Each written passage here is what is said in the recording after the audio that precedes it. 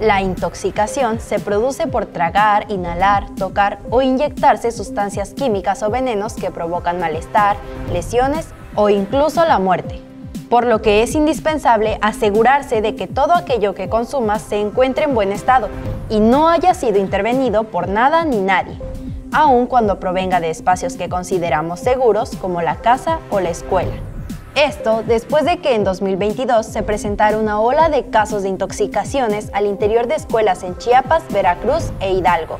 destacando lo sucedido en la secundaria Juana de Asbaje en Bochil, Chiapas, con 110 casos de intoxicación en jóvenes que hasta el día de hoy no se han esclarecido las causas, los culpables ni sus sanciones.